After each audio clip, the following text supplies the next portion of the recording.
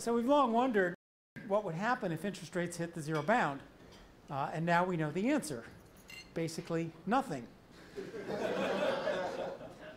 now, that, that's a surprising answer uh, because our theories predicted big events. Uh, old Keynesian adaptive expectations models predicted that a deflation spiral would break out at the zero bound. Uh, the zero bound is like an interest rate peg, unstable. It's like the ball on the seal's nose.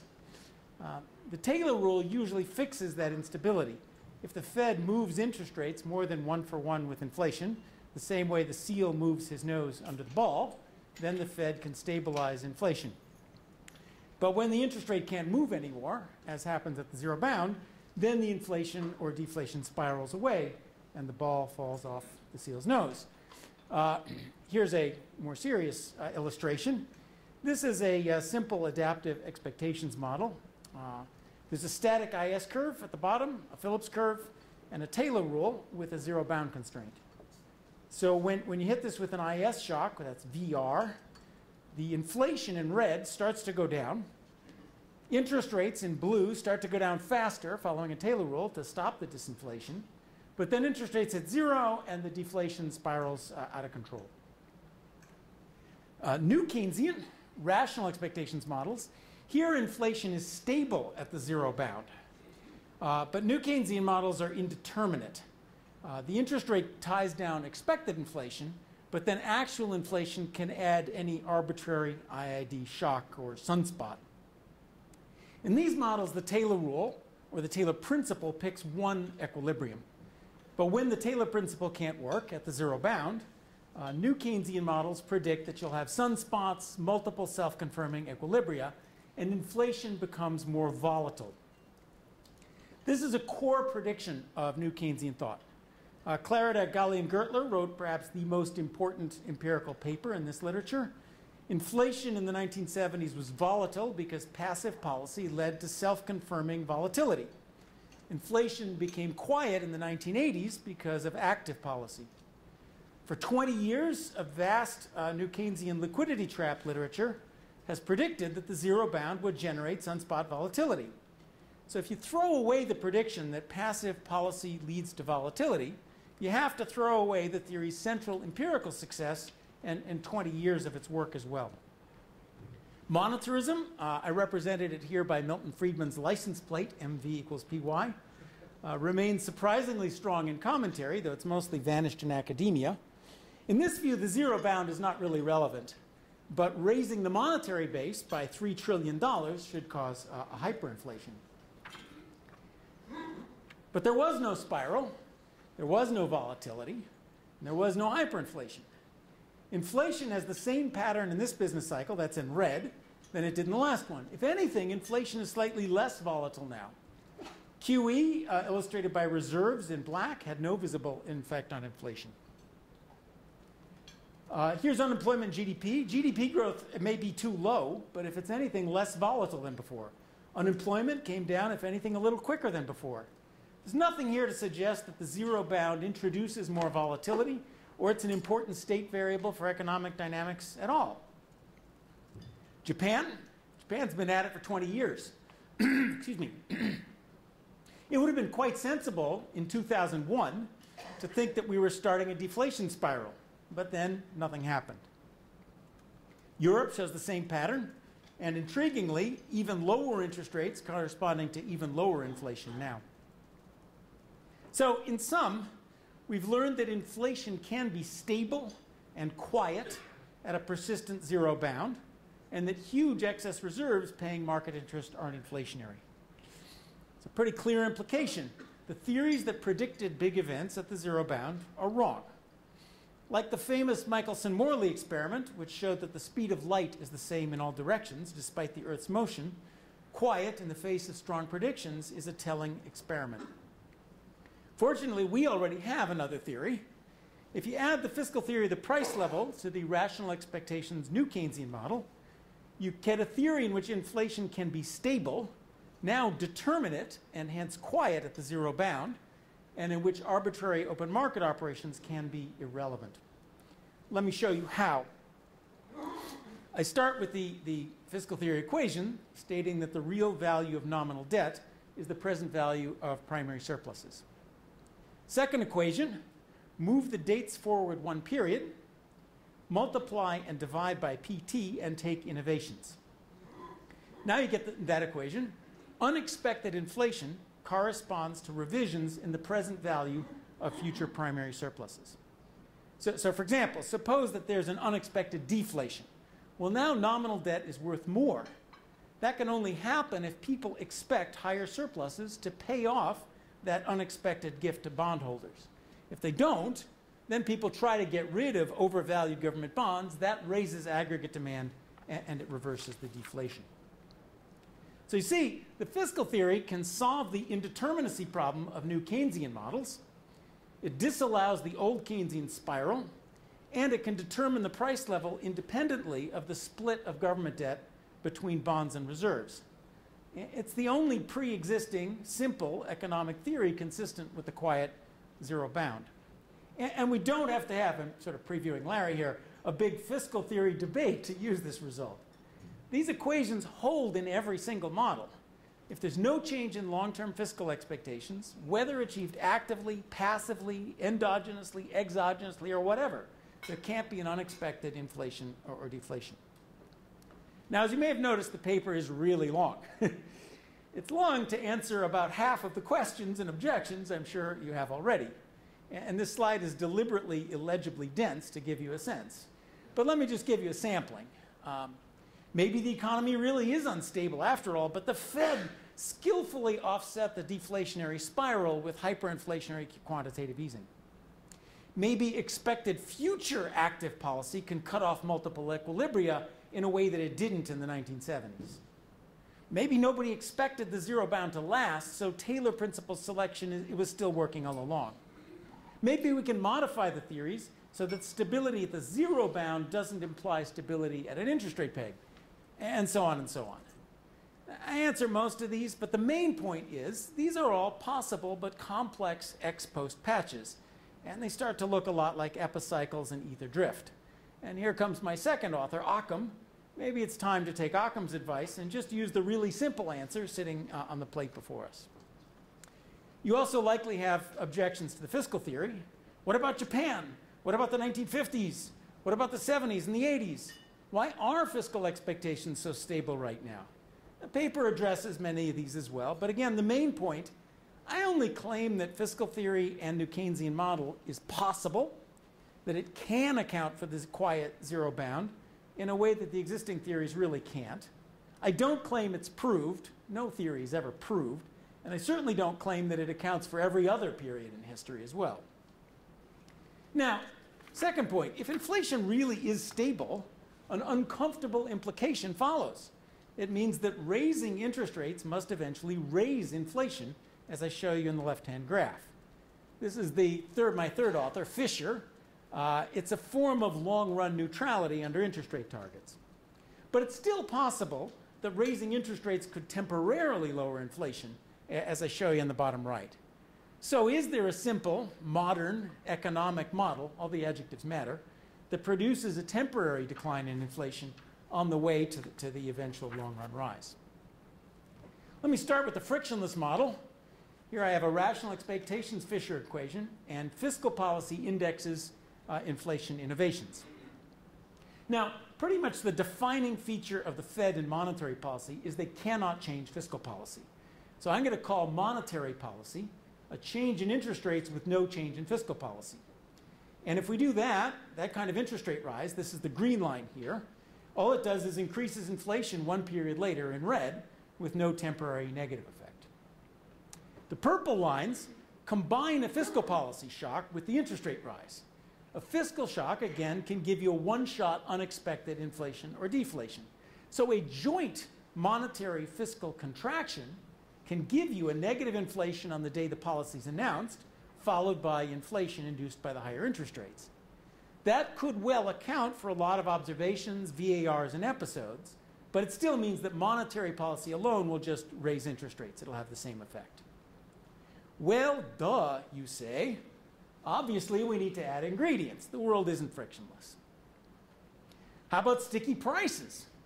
Then higher nominal rates mean higher real rates. That lowers aggregate demand. That could temporarily low inflation, right? I hoped so too. This was supposed to be a positive paper. Wrong, it turns out. Uh, here I have an interest rate rise, again in green, with no fiscal change in the standard new Keynesian uh, model. Set out, I put the equation at the bottom.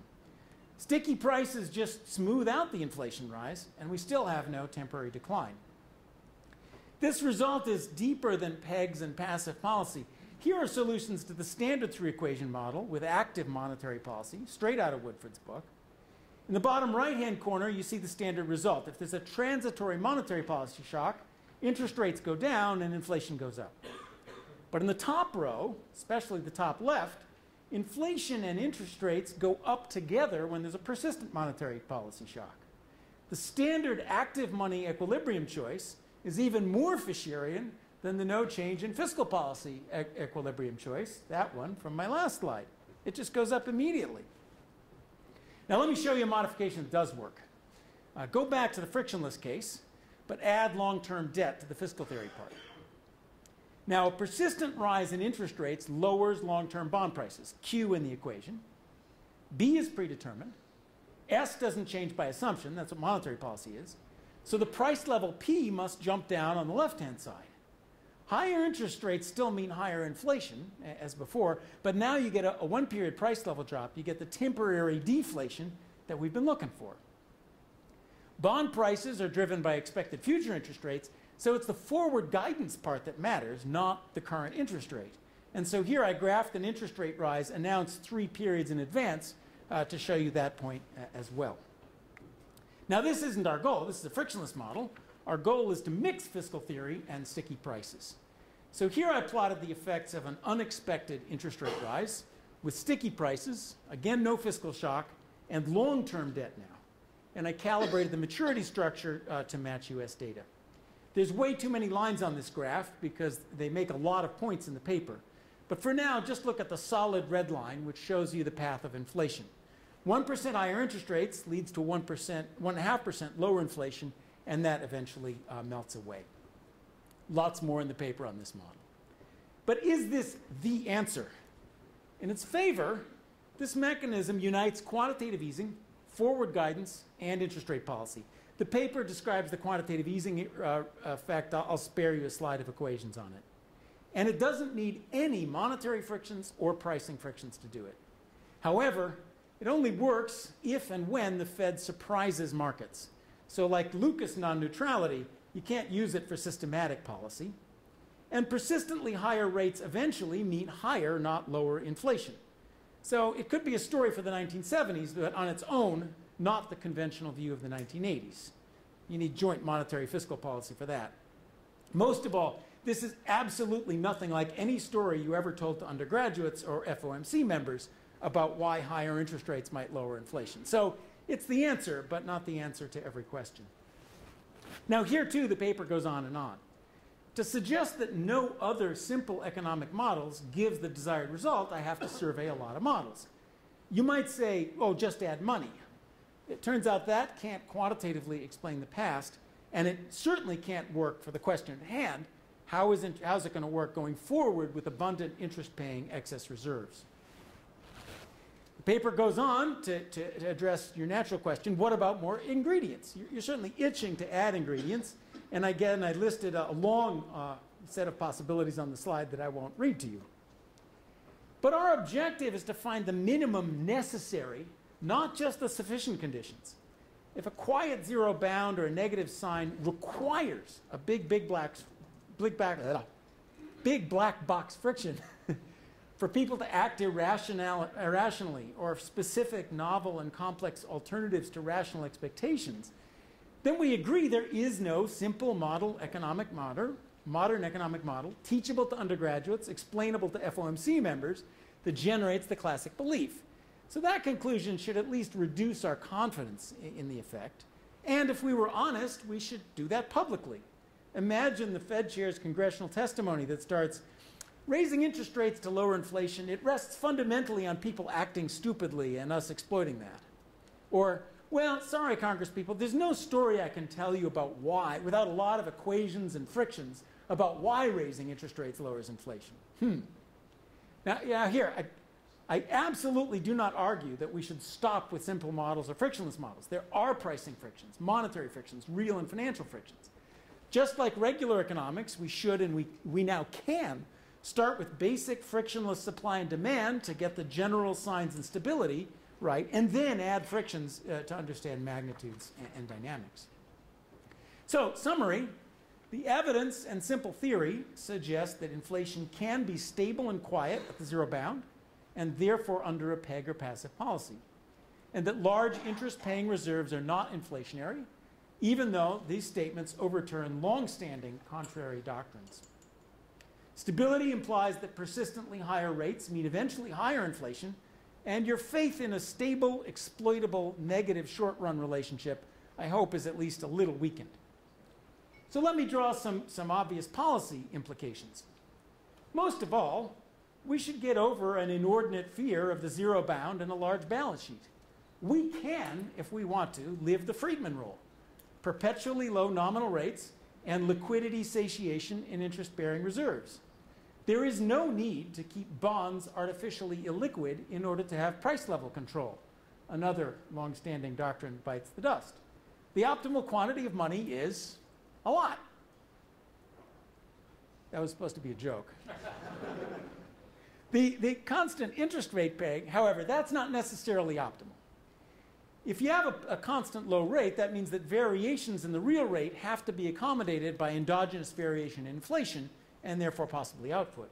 The Fed can well also adjust nominal interest rates corresponding to its idea of the natural real rate and that would stabilize inflation and with sticky prices output as well.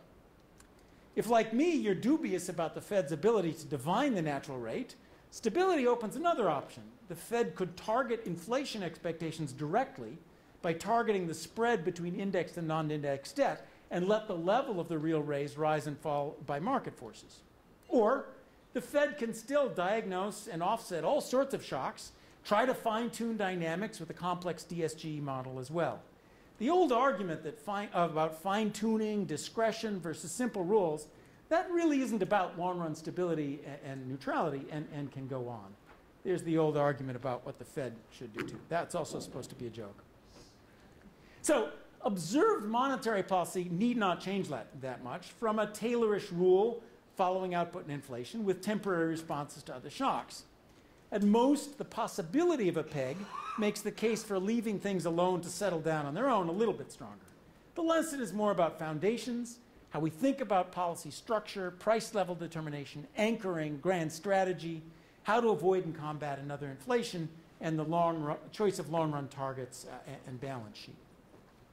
So I close here, and yes, I am closing, with two warnings. This line of work is already cited in Turkey and Brazil to suggest that countries with high inflation can just easily and painlessly lower interest rates despite poor fiscal policies. No, that conclusion does not follow.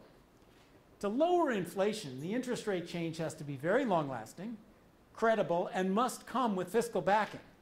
All of the historically successful disinflations that combined lower interest rates with lower inflation combined fiscal and monetary reform. Many attempted interest rate pegs failed from a lack of fiscal balancing. Our flight to government debt came before and not after our, our lower interest rates. Second, the fiscal perspective recognizes that anchoring quiet inflation comes from a stable real value of the government debt. That stable real value must come from a belief in abundant future surpluses or from a low discount rate. Right now, the low discount rate seems like the much more plausible option. But low discount rates can change quickly, and a small loss of faith in surpluses can be amplified by a higher discount rate. That's what happened in Greece. So, inflation anchoring could vanish quickly and apparently mysteriously, having nothing to do with central bank actions, and then no quantitative easing or, or other intervention would stop it. Thank you.